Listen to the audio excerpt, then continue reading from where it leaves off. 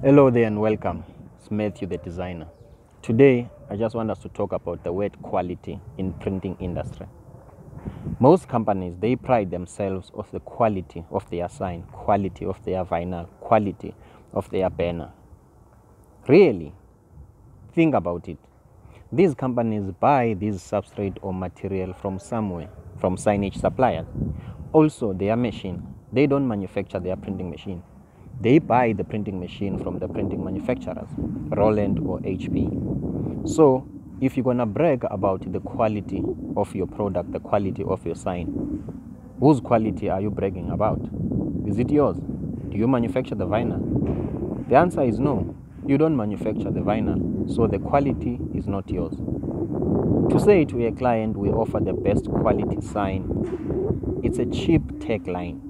It's a cheap promise because each and every other company they are buying from the same supplier, the same machine manufacturer.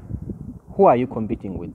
What's your unique value proposition? It means that if you are competing on quality, the one that you don't produce, you only produce it because of you've bought a big printer or you've bought a vinyl from a certain service provider.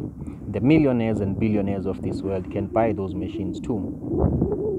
They can also buy from that service provider, meaning that sooner or later, if your strength or the strength of your company relies on the machine, as soon as other companies buy the same machine, you are out of business. Let's talk about a tagline that I once saw in a vehicle the other day. We don't cut corners, we clean them. Which industry are they occupying? Obviously, a cleaning industry. They are just telling you straight look, we don't cut corners, we clean them. Any company that can clean only the face of a building, we are not those. We get into the corners.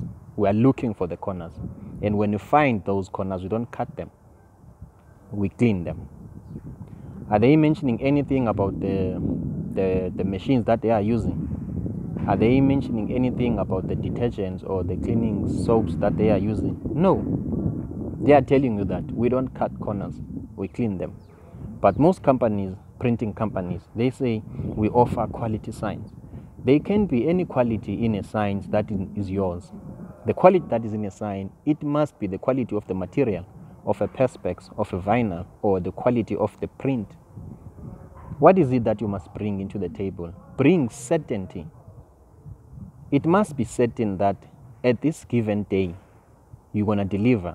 That is difficult to promise the client because a lot of things can happen in between. That's why the printing industry needs a man.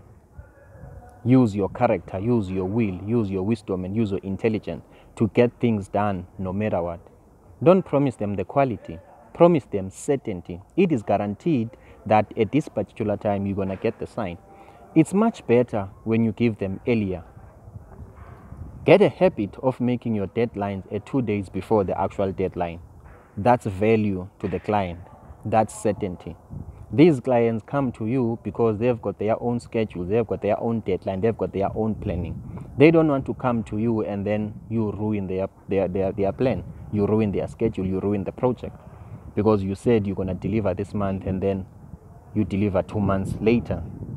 So, relying on a quality sign, on a quality control, is a cheap tagline. Guarantee and promise certainty. It must be certain. Be certain that it's going to happen.